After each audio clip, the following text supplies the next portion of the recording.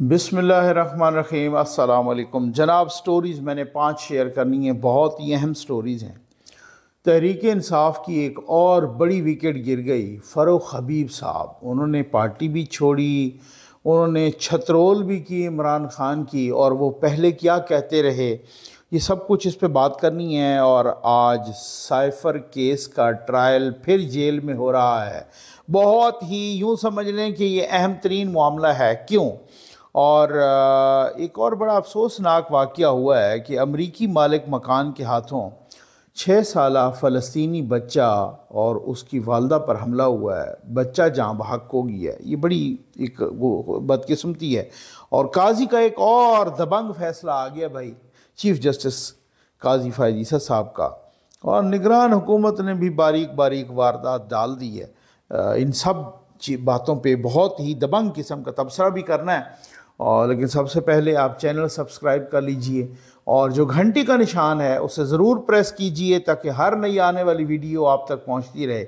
Water project चल रहे हैं अपने मरहूमिन के सवाब के लिए एक वाटर प्रोजेक्ट ज़रूर लगवाइए और प्यासी इंसानियत को पानी पिलाइए। व्हील चेयर प्रोजेक्ट भी चल रहे हैं। इसके अलावा हमारे एक सौ घरानों को जो हम राशन दे रहे हैं छः माह का।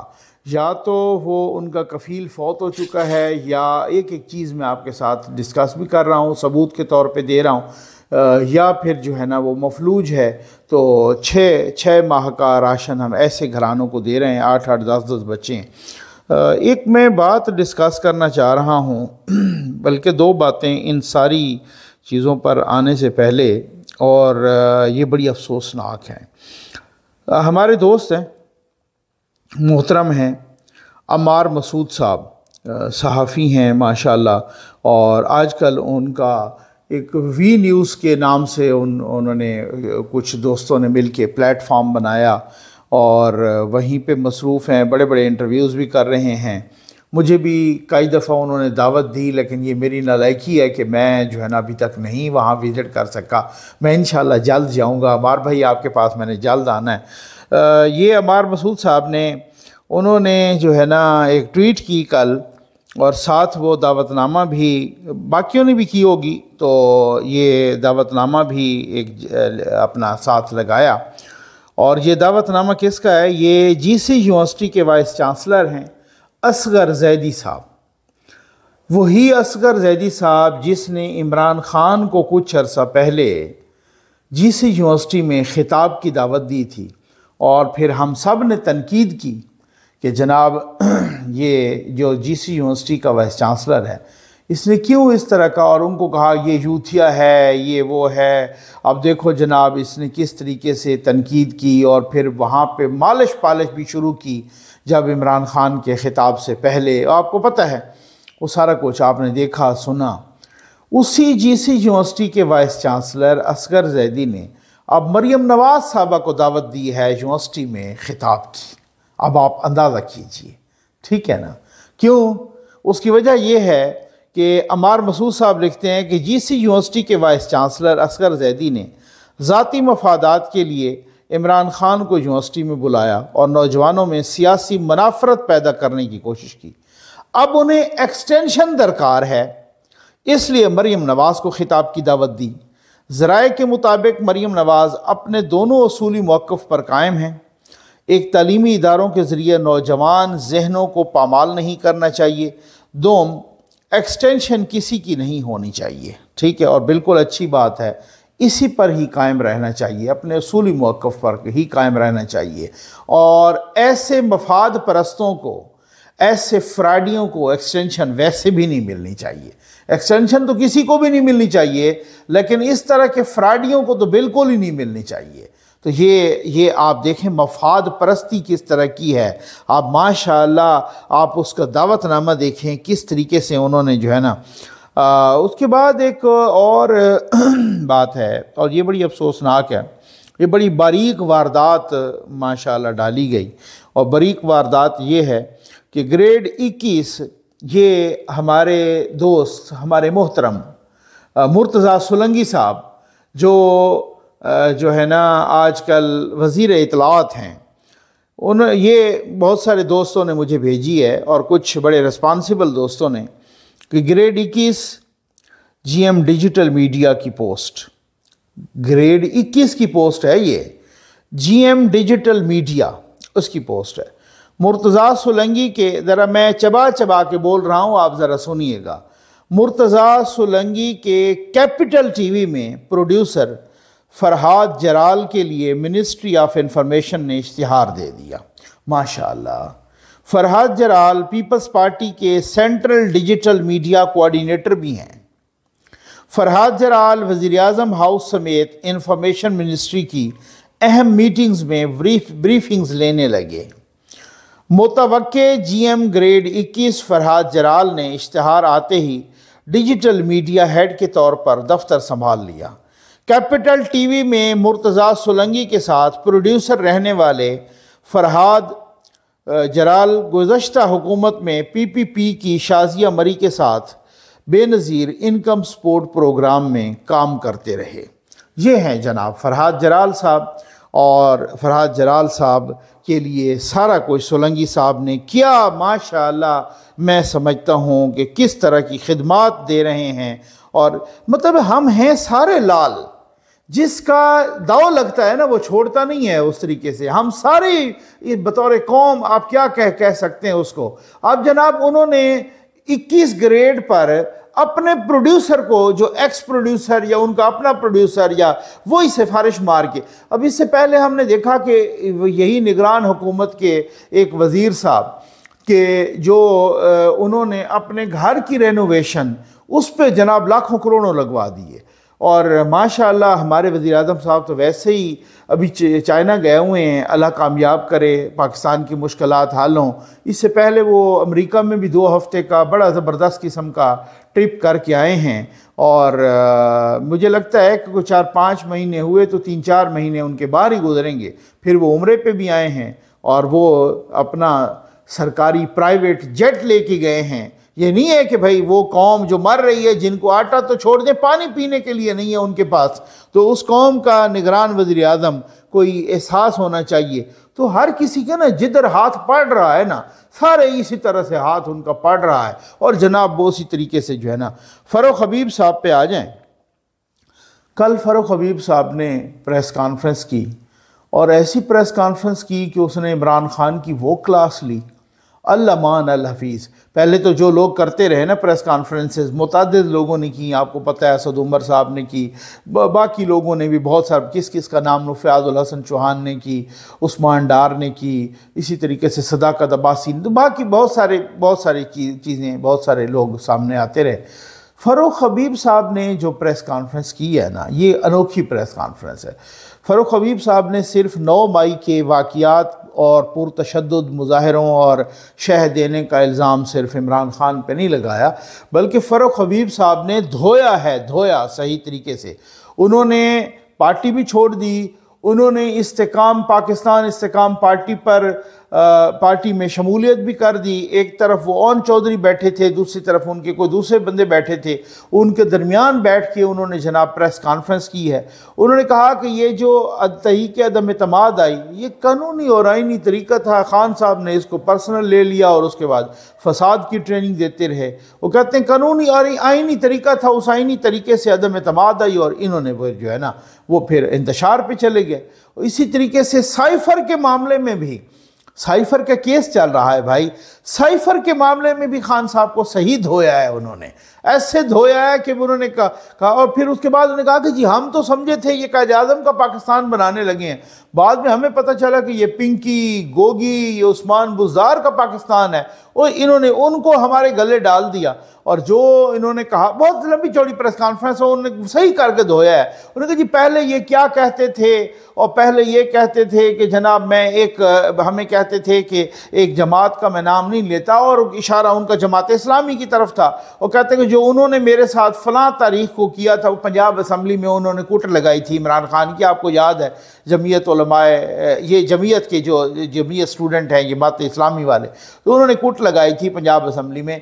आपको याद है, अच्छी तरह से उसकी वीडियोज़ भी मौजूद हैं, उसकी फ़ोटोज़ भी मौजूद हैं, सब कुछ। उससे पहले भी कई दफ़ा हम बात कर चुके हैं उन्हीं की तरह तो कहते हैं कि उनकी तरह नहीं बनना। तो फिर वो फ़रोख हबीब साहब कहते हैं कि फिर खुद उनकी तरफ़ बन गए। कहते हैं गिरफ्तारी देना नहीं चाहते थे और इसी वजह से हर वक्त वो फसाद और फड्डा और ये चीज़ें जो है ना इस पे वो कहते थे तो फिर इसका मतलब तो यही होना था। तो उन्होंने साइफर पे भी धोया, उन्होंने तोशा खाने पे भी धोया। उन्होंने कहा, आसिफ अली जरदारी और नवाज़ शरीफ पे हम तनकीद करते थे तोशा खाने पे कि यहाँ से ये तोशा खाने से ये तोहफे लेते हैं और इन्होंने खुद घड़ियाँ खैर से ले ली और फिर पता नहीं क्या क्या, ले लिया। तो उन्होंने सही करके धोया है, फ़रोख हबीब ने। अच्छा मैं आपको बताऊँ चंद रोज़ पहले फ़ारूक हबीब साहब ये गवादर से गायब हुए थे, ये गिरफ़्तार हुए थे, सितंबर के आखिरी वीक में, ठीक है ना? तो वो फिर जो है ना, जब वो गवादर से गिरफ़्तार हुए या अगवा हुए या गायब हुए, जो जो तरीके भी आप, जो जो भी लफ्ज़ इस्तेमाल कर लें तो फिर थोड़ी देर के बाद, कुछ दिनों के बाद हमने देखा, ये भी चंद रोज़ पहले शबाज गाली भी और अमेरिका में बैठ के, और शाहीन सहबाई मतलब वैसे ही अल्लाह माफ़ करे, हर स्टेज पे एहतियात करनी चाहिए। लेकिन बंदे की जब कब्र में टांगे होना तो उस वक्त तो बहुत ज़्यादा एहतियात में इस्तफ़ार करना चाहिए। उस शहीन सहबाई ने वो एक बालशिया पालशिया जाहिल किस्म का सहाफ़ी है।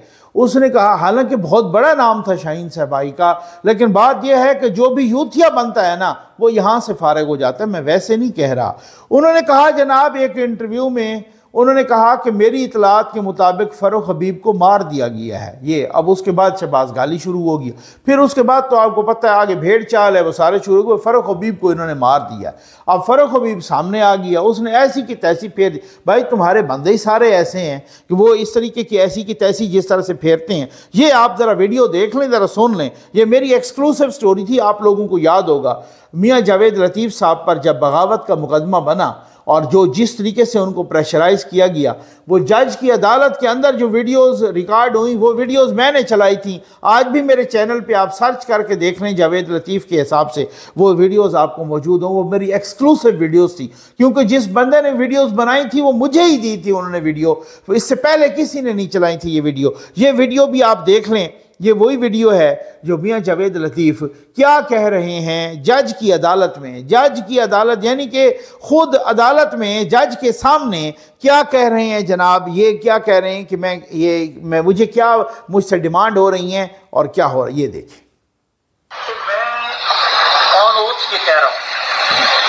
तो रहा मुझे ये बात कही आपको इंसाफ खैरात में मिल सकता है। आपको रिहाई मिल सकती है। मैं तो खैरात में डॉक्टर साहब सॉरी जज साहब, मैं तो खैरात में ज़िंदगी नहीं लेना चाहता। मैं इंसाफ या रिहाई कैसे तस्वर कर सकता हूँ? मैं तो इस पाकिस्तान के लिए मर सकता हूँ, मगर इनके हाथों से अपनी रिहाई नहीं चाहता। ये मुझे कहते हैं कि आपको खैरात में इंसाफ मिल सकता है। ये मुझे कहते हैं कि आप, यानी खैरात में इंसाफ क्या, कि नवाज़ शरीफ को छोड़ दो और आपको इंसाफ मिल जाएगा, दूसरे दिन ही आप बाहर आ जाएँगे। उन्होंने कहा, मैं खैरात में ज़िंदगी नहीं लेना चाहता। ये तो मुझे इंसाफ देना चाहते हैं, मैं तो खैरात में ज़िंदगी नहीं लेना चाहता। इनके हाथों ये मुझे मार दें, कोई मसला नहीं है। लेकिन मैं नहीं, ये होता है, ये ये ये ये बंदा होता अपराइट आदमी। ये बंदा होता है कि जिसमें कम अज़ कम कोई इंटेग्रिटी किसी किस्म कोई कोई शूर कोई गैरत, कोई शर्म, कोई जमहूरी अकदार की कदर, कोई कम अज़ कम कोई इस तरह का की सूरत हाल होती। इसी तरह से हनीफ अब्बासी साहब ने भी कहा था। हमें याद है, मेरे पास वो वीडियो भी मौजूद है, मैं आपको दिखा भी दूँगा। उन्होंने भी कहा था कि ये मुझे कहते हैं, नवाज़ शरीफ को छोड़ दो, मैं नहीं छोड़ूँगा। और इस, जिस तरीके से उन पर बनी भी उनके अकाउंट्स बंद हो गए, उनके बच्चों की नौकरियाँ ख़त्म हो गई, उनका सब कुछ जिस तरीके से उन पर बनी, उनको भी वो अपनी मिसाल आप है, लेकिन उन्होंने भी हिम्मत नहीं हारी और इस तरीके से साइफर केस का ट्रायल जेल में हो रहा है और आज हो सकता है, जब आप ये वीडियो सुन रहे हों, देख रहे हों तो बहुत कुछ हो चुका हो। यानी इमरान खान साहब पर फ़र्द जुर्म आयद हो चुकी हो। कल बड़ा शोर मचाया इस्लामाबाद हाई कोर्ट में। और फिर साथ ये कहा कि हमारे आठ वकला वहाँ पे जाएँ जेल में। ठीक है ना? आठ वो, पता नहीं आठ वोकला ने क्या करना है? वहाँ पे हंगामाराई करनी है, वहाँ पे तमाशा करना है। क्योंकि ख़ुद सरदार लतीफ़ खोसा साहब फरमा रहे हैं कि ये आप, उन्होंने धमकी लगाई एक तरह से जस्टिस आमिर फारूक को कि आप ये करें, जेल से बाहर ट्रायल करें, क्योंकि ये फारद जुर्म आयद करना चाह रहे हैं चार्ज फ्रेम करना चाह रहे हैं इंडाइटमेंट अगर ऐसा हुआ तो बड़ी गड़बड़ हो जाएगी। जिसका मतलब है आपने जेल में ही को फटा करने का प्लान बनाया है। लेकिन अगर उसी तरीके से, लेकिन वो तो वो था ना कि मुलजिम को भगा के ले गए ले जाओ। उस तरीके से तो भगा के आप ले कहीं नहीं जा सकते क्योंकि वो तो है जेल में। तो आज कभी इम्कान यही है कि इमरान खान और शाह महमूद कुरैशी पर फ़र्द जुर्म आयद हो जाएगी। अच्छा मैं एक छोटी सी बात करूँ। एक आप में से आप में से एक हैं। उन्होंने कहा कि जी आप ये फ़र्द जुर्म का बता दें, सर, फ़र्द जुर्म ये होता है कि जब भी कोई केस, जब भी किसी पर इल्ज़ाम आता है मुलजम पर तो जब उस पर फ़र्द जुर्म आए तो उसको पढ़ के सुनाई जाता है, जज पढ़ के सुना देता है कि आप पर ये ये ये ये इल्ज़ाम है। आगे वो एक्सेप्ट करे या रिजेक्ट करे, उसकी मर्ज़ी। वो कबूल करता है या नहीं, मुस्तरद करता है। आमतौर पे जितने भी मुजरम होते हैं, वो मुस्तरद कर देते हैं। चाहे किसी ने कत्ल भी किया वो मुस्तरद करता है कि जी, मैंने तो नहीं किया। वो मुस्तरद कर चार्ज फ्रेम होना, यानी उस वक्त से उस पर फ़र्द जुर्म आयद होता है। फ़र्द जुर्म आयद होने के बाद बाकायदा ट्रायल का अफ्ताह हो जाता है, बाकायदा मुकदमा शुरू हो जाता है। वो मुकदमे की बाकायदा कार्रवाई शुरू हो जाती है। उस तरीके ये होता है, फ़र्द जुर्म आयद होना। और दूसरा, उन्हीं भाई ने पूछा है, मुझे याद आ गया, कुदरती उन्हीं भाई ने पूछा है कि सर ये रिमांड क्या होता है और जुडिशल क्या होता है? जब भी कोई मुलजिम पकड़ा जाता है ना, किसी भी इल्ज़ाम में, चाहे डकैती के इल्ज़ाम में, करप्शन के इल्ज़ाम में, कत्ल के इल्ज़ाम में, किसी भी इल्ज़ाम में पकड़ा जाता है, बगावत के इल्ज़ाम में, कोई भी इल्ज़ाम हो तो पहले पुलिस वाले कहते हैं, जनाब कि हमें इसका रिमांड दें, जिसमानी रिमांड, यानी कि इसको हमारे हवाले कर दें। उसको जब पकड़ा जाता है ना 24 घंटे के अंदर उसे पेश करते हैं अदालत में। और पुलिस वाले कहते हैं, जी, इसे हमारे हवाले कर दें, अब वो तीन दिन के लिए करें। चार दिन के लिए करे मैक्सिमम चौदह दिन के लिए आम तौर पे होता है तो वो तो वो हवाले करता है। और ये जज की डिस्क्रिशन होती है कि अगर ये डिस्क्रिशनरी पार होती है जज की, कि अगर वो तीन दिन के लिए उनके हवाले करता है और जज समझता है कि इससे कोई मालूम इन्होंने और न लेनी है और न पुलिस वाले बकाया कहते भी रहें, वो उसको जेल भेज देता है। जब किसी मुलजिम को अच्छा बाद ऐसा भी होता है, एक दफ़ा तीन दिन के लिए, फिर दूसरी दफ़ा तीन दिन के लिए, फिर तीसरी दफ़ा तीन दिन के लिए, एक ऐसी अन्नी मची थी पिछले दौर में, इमरान खान के दौर में कि ऐसा नैब लाज थे नबे दिन के लिए नैब के हवाले किया जाता था मुलजिम को, और ये जितने भी सियासतदान नबे नबे दिन तक गायब हो जाते थे। और फिर जब वो जज समझे कि नहीं, अब पुलिस को या किसी और इदारे को रिमांड नहीं देना, बल्कि जेल भेज देना है। जब वो जेल भेज दे तो उसको कहते हैं कि इसको अब इसने जुडिशल कर दिया है। मेरा ख्याल है, मैं अपने भाई को समझा पाया हूँ लेकिन समा खराशी के लिए माजरत जो बाकी हैं वो मुझसे बहुत ज़्यादा जानते हैं। तो ये उन्होंने कहा था तो मुझे याद आ गया। तो आज चार्ज फ्रेम कभी इम्कान यही है कि उन पर फ़र्द जुर्म आयद हो जानी है इमरान खान और शाह महमूद कुरैशी पर। और आज बड़ा फैसला कौन दिन है? क्योंकि आज आज़म खान का भी सामना होना है इमरान खान के साथ। आज बाकियों का भी सामना होना है। आज़म खान, उनका एक्स प्रिंसिपल सेक्रेटरी वो इमरान खान के ख़िलाफ़ एक वादा माफ़ गवाह के तौर पर पेश हो रहे हैं। वो एफ़ आई ए का गवाह है आज़म खान। अब देखिए कि क्या होता है। ये बहुत ही अहम तरीन दिन है। फ़र्द जुर्म का आयद के होने के बाद हो सकता है अक्टूबर के एंड या नवंबर में ज़्यादा से ज़्यादा साइफ़र केस में कभी इम्कान है। सबूत बड़े तगड़े हैं। और अगर साइफ़र केस में सज़ा हुई तो ये दस साल से ज़्यादा होगी। ये फिर आप देख लीजिएगा। और कादी साहब ने, जस्टिस कादी फ़ायदीसा साहब ने जनाब जो है ना, ये एक वो कर दी है। बड़ा ज़बरदस्त किस्म का दबंग फैसला। और वो फैसला क्या, हालाँकि पहले कहते थे तो पहले वो सुप्रीम कोर्ट अनटचेबल था, मुकद्दस गाय। जी नहीं उनके मुलाजमीन के तो कोई हमने देने ही नहीं है किसी किस्म की तफसीलात। बंदा गया कि जनाब आप जो है ना, सुप्रीम कोर्ट के मुलाजमीन की भी तफसीलात नहीं। तो कादी साहब और दो मुखालिफन डिवीज़न बेंच था, या तीन रुकनी बेंच तो उन्होंने कहा, जी, बिल्कुल, जो भी हैं, इनको सुप्रीम कोर्ट के मुलाजमीन के, हम भी एहतसाब से बाला नहीं हैं। राइट ऑफ़ इंफॉर्मेशन ठीक है ना? ये जो right right to right to information act है ये मुशरफ साहब ने बनाया था, लेकिन वो फिर आपको पता है, बहुत सारी डंडियाँ मार जाते थे। फिर उससे अनवर्ड 2018 में right of right to information या right of access to information एक एक्ट बना। खान साहब कहते थे, बड़े जलसों में भी, कि जी सबसे पहले हमने बनाया है, खैबर पख्तूनख्वा में। लेकिन जब उनके अपना तोशा खाने में गिफ्ट को गिफ्ट का वो किया ना और एक सहाफ़ी हैं, उन्होंने कहा कि जी तोशा खाने के बताया जाए, इन्होंने क्या किया, लिया है। फिर खान साहब बिगड़ गए।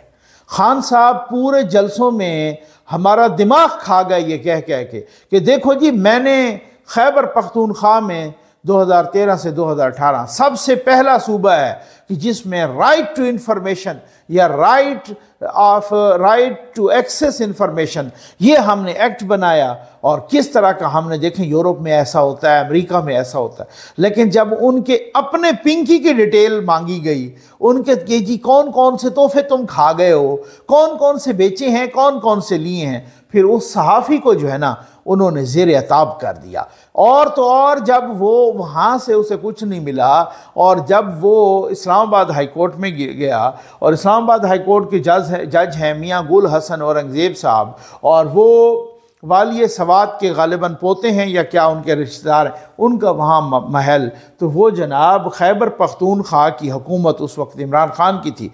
वो उस महल पे चढ़ गए। उन्होंने कहा, जी, ये तो हम बेचेंगे, ये तो पता नहीं औकाफ को देंगे, पता नहीं ये क्या करेंगे? उनसे ले लिया। ठीक है ना? वो अब आप अंदाज़ा कीजिए, उनके घर पे चढ़ गए। तो इस तरीके, बाद में जब बैक लैश आया तो बाद में उनका घर छोड़ा उन्होंने, और इन्होंने तो जज को इस तरीके से इन्होंने जो है ना, जलील ख्वार किया। जब अपने तोहफ़ों की तफसील आई तो खान साहब ने कहा, नहीं नहीं नहीं, ये नहीं देने। बाकी सारे राइट ऑफ़ इंफॉर्मेशन मैंने को इनके लिए किया था। मैंने तो वैसे ही दिखाने के लिए, और मैंने तो तो काजी साहब ने कहा, है जनाब, चीफ जस्टिस साहब ने कि जी, बिल्कुल सुप्रीम कोर्ट की तफसीला। वो वाहिद जज हैं जिन्होंने अपने पूरे असासों की तफसीलात सुप्रीम कोर्ट की वेबसाइट पर जारी कर दी। सबसे पहले, ये ये काजी साहब ने की कि उस वक्त वो चीफ जस्टिस भी नहीं थे। तो बहुत ज़बरदस्त बात है भाई।